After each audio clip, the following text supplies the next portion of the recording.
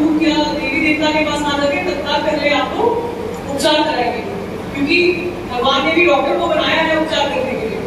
Doctor भी आपके सही मायने में आपकी देवी देवता है तो पहले उनके पास जाइए और वो एंटी स्प्रे लगवाइए। उससे जो जहरीले सांप है, उनका जो विष है, वो न्यूट्रलाइज हो जाएगा और आप ठीक हो जाएगा एंटी एक बहुत बड़ा आपका हमारे जनपद में आ रही है वज्रपात बिजली गिरने की और इस बार बहुत जगह बिजली गिरी है, इक्कीस लोगों की मौत हो गई ये बहुत दुखद है और इससे आराम से बचा जा सकता है।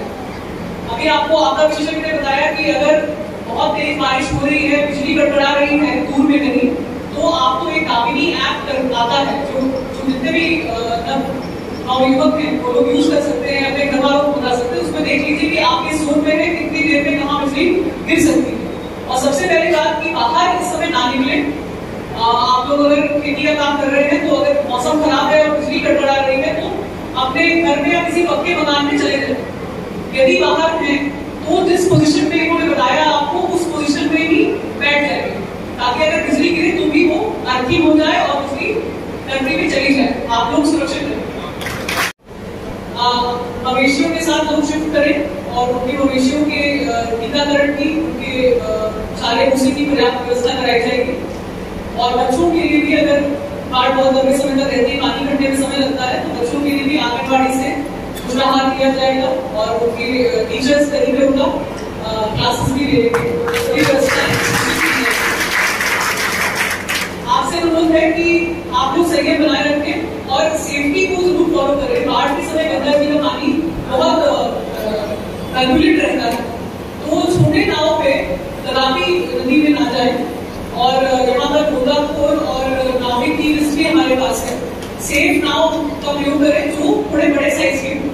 और नाविकों को भी ये बताएँ और खुद भी ध्यान रखें कि जब नाव में बैठे तो ओवरलोडिंग ना हो जाए। इसमें कोई जल्दबाजी की, बात नहीं है। धीरे धीरे सब लोग पहुँच जाएँगे। लेकिन जब क्षमता से अधिक लोग नाव में बैठ जाते हैं तो दुर्घटना घट जाती है। तो इसको ध्यान में रखें जितने लोगों की क्षमता है उतने ही लोग नाव में बैठे और छोटे नाव का प्रयोग ना करें। जब भी चले तो ग्रुप में अपने ग्रुप में एक मंझले या बड़े नाव में ही चले इस मौसम में सांप काटने की बहुत सारी इंसिडेंट और जो आपदाएँ आ सकती है। यदि आए तो हम लोग क्या करें? तो इसके लिए जानकारी पहुँचाने के लिए ये ग्राम चौपाल राहत चौपाल गाँव गाँव में आयोजित किए जा रहे हैं।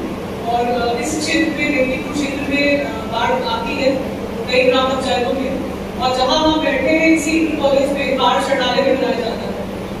तो बाढ़ के संबंध में आपको बेसिक चीज़ें बताई गई कि बाढ़ में क्या करें, क्या ना करें। अभी जो हमारा गंगा का जलस्तर है, वो अभी काफ़ी नीचे है, खतरे के बिंदु से। लेकिन यदि बरसात अगस्त में ज़्यादा हुई तो ये बढ़ सकता है।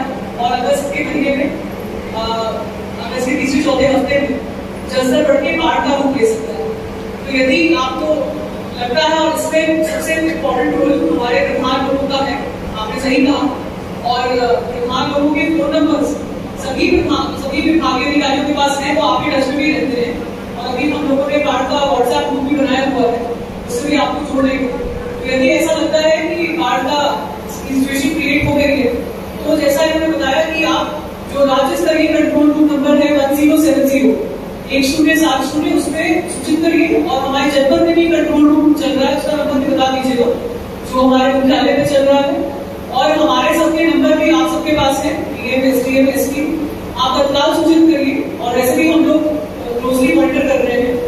तो यदि आबादी के एरिया में पानी आ जाता है, इतना पानी बढ़ जाता है, जिससे लोग प्रभावित हो जाए या गाँव महदूद हो जाते हैं तो तत्काल हम लोग अपने वाहनों से या नाव से लोगों को रेस्क्यू करेंगे, वहाँ से बाढ़ चटाने में शिफ्ट करेंगे।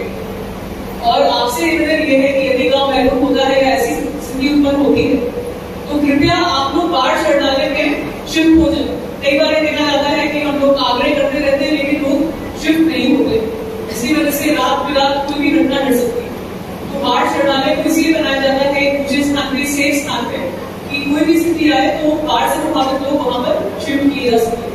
कार से प्रभावित जो लोग होंगे उनको शासन की तरफ़ से